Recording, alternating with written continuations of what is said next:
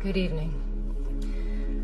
I am truly honored to be here with you tonight. And thank you to the Foundation for inviting me, and thank you all for sharing in this moment. We are here in the memory of Sergio Vieira de Mello and the 21 other men and women, most of them UN workers, who died with him in the bombing of the UN headquarters in Baghdad, August 2003. We remember all those who died to acknowledge each valuable life cut short and the families who share, even today, in their sacrifice. We also remember them for the power of the example they set. Brave individuals from 11 different countries working to help the Iraqi people at the direction of the United Nations Security Council and on behalf of all of us. This is sometimes forgotten, that in serving under the UN flag, they died in our names, as our representatives. And at their head, Sergio was a man of extraordinary grace and ability, as many who knew him will testify a man who gave 30 years to the United Nations, rising from a field officer to High Commissioner for Human Rights and Special Representative to Iraq. From Bangladesh to Bosnia to South Sudan to East Timor, he spent the majority of his career in the field, working alongside people forced from their homes by war and assisting them with his skill as a diplomat and a negotiator. Perhaps the greatest testament to his contribution is how much his advice would be valued today. As the Syrian conflict enters its seventh year, as we live through the gravest refugee crisis since the founding of the United Nations, as 20 million people are on the brink of death from starvation in Yemen, Somalia, South Sudan, and Southeast Nigeria, I cannot imagine that there is anyone in the leadership of the United Nations who would not welcome the opportunity to consult Sergio or to send him into the field once more. He is truly missed. It is humbling for me to speak tonight in the presence of members of Sergio's family and his former colleagues. I never knew Sergio, but I have stood before the plaque in the place where he died. I felt profound sadness at the fact that the conflict in Iraq, the source of so much Iraqi suffering, to this day, had claimed the lives of men and women whose only intention was to try to improve a desperate situation. But I also saw clearly the value and nobility of a life spent in service to others. Sergio was a man who never turned down an assignment, no matter how difficult and dangerous, or as others have put it, who handled one impossible task after another. He was a man, to borrow the words of Thomas Paine, whose country was the world, whose religion was to do good. He will always remain a hero and inspiration to all who follow in his footsteps. The UN's work did not end there, in the rubble of Canal House 14 years ago. Hundreds of UN staff have served and continue to serve in Iraq, as they do from Afghanistan to Somalia, because the task of building peace and security can never be abandoned, no matter how bleak the situation.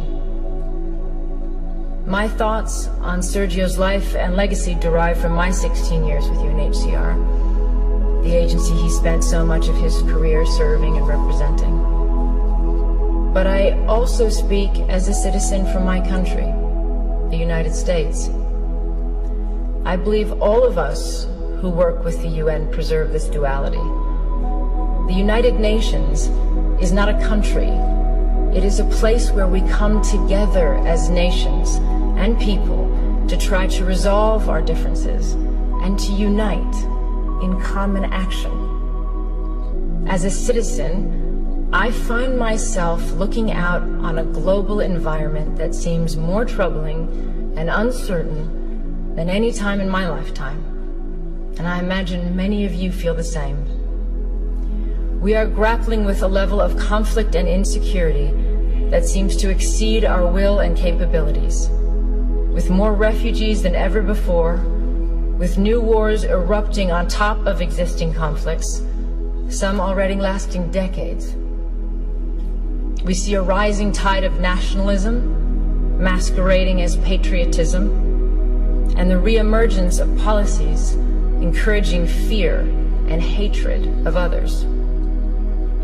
We see some politicians elected partly on the basis of dismissing international institutions and agreements, as if our countries have not benefited from cooperation but actually been harmed by it. We hear some leaders talking as if some of our proudest achievements are in fact our biggest liabilities, whether it is the tradition of successfully integrating refugees into our societies or the institutions and treaties we have built rooted in law and human rights.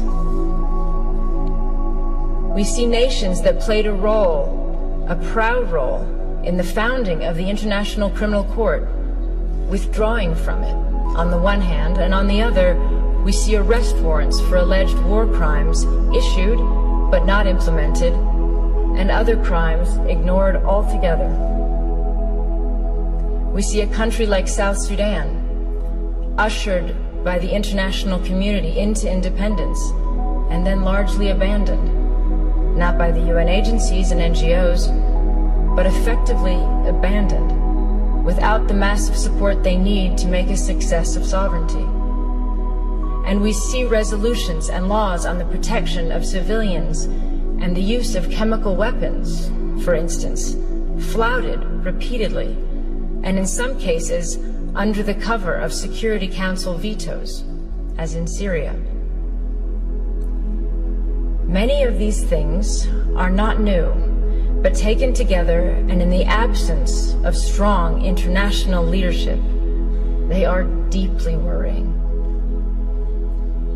When we consider this, all of this and more, as citizens, what is our answer? Do we, as some would encourage us to think, turn our backs on the world and hope that the storm will pass? Or do we strengthen our commitment to diplomacy and to the United Nations?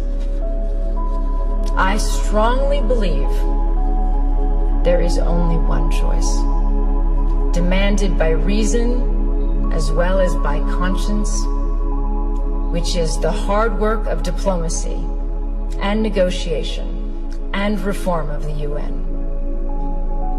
This is not to say that in any way this is an easy road. And there are reasons for people to feel insecure today. The level of conflict and lack of solutions combined with the fear of terrorism, the reality that globalization has brought vast benefits to some and worsened the lot for others. The sense of disconnect between citizens and governments, or in some countries the lack of governance. The overall feeling that for all our gains in technology and connectedness, the less we are in control of forces shaping our lives. All these factors and more have contributed to a sense of a world out of balance. And there are no easy answers. And despite the millions of people who have lifted themselves out of poverty in our lifetime, the difference between the lives of those of us born in wealthy, democratic societies and those born into slums and refugee camps in the world is a profound injustice. We see it, and we know it's wrong at a simple human level. That inequality is contributing to instability, conflict, and migration, as well as to the sense that the international system serves the few at the expense of the many. But again, what? What is our answer as citizens? Do we withdraw from the world where before we felt the responsibility to be part of the solutions? I am a proud American. And I am an internationalist. I believe anyone committed to human rights is. It means seeing the world with a sense of fairness and humility and recognizing our own humanity in the struggles of others. It stems from a love of one's country, but not at the expense of others. From patriotism, but not from narrow nationalism. It includes the view that success isn't being greater than others, but finding your place in a world where others succeed too. And that a strong nation, like a strong person, helps others to rise up and be independent. It is the spirit that made possible the creation of the UN. Out of the rubble and ruin and 60 million dead of World War II, so that even before the task of defeating Nazism was complete, that generation of wartime leaders was forging the UN. If governments and leaders are not keeping the flame of internationalism alive, then as citizens, we must. The challenge is how to restore that sense of balance and hopefulness in our countries, while not sacrificing all we have learned about the value and necessity of internationalism. Because a world in which we turn our back on our global responsibilities will be a world that produces greater insecurity, violence, and danger for us and for our children. This is not a clash between idealism and realism. It is the recognition that there is no shortcut to peace and security, no substitute for the long, painstaking effort to end conflicts, expand human rights, and strengthen the rule of law. We have to challenge the idea that the strongest leaders are those willing to dismiss human rights on the grounds of national interests. The strongest leaders are those who are capable of doing both. Having strong values and the will to act upon them doesn't weaken our borders or our militaries. It is their essential foundation. And none of this is to say that the UN is perfect because of course we know it is not. I have never met a field officer who has not railed against the shortcomings, as I imagine Sergio did in his darkest moments. And he, like all of us, wanted a UN that was more decisive, less bureaucratic, and that lived up to his, its standards. But he never said it was pointless, and he never threw in the towel. The UN is an imperfect organization because we are imperfect. It is not separate from us. Our decisions, particularly those made by the Security Council, have played a part in creating the landscape that we are dealing with today. We should always remember why the UN was formed and what it is for and take that responsibility very seriously. We have to recognize the damage we do when we undermine the UN or use it selectively or not at all, or when we rely on aid to do the job of diplomacy or give the UN impossible tasks and then underfund it.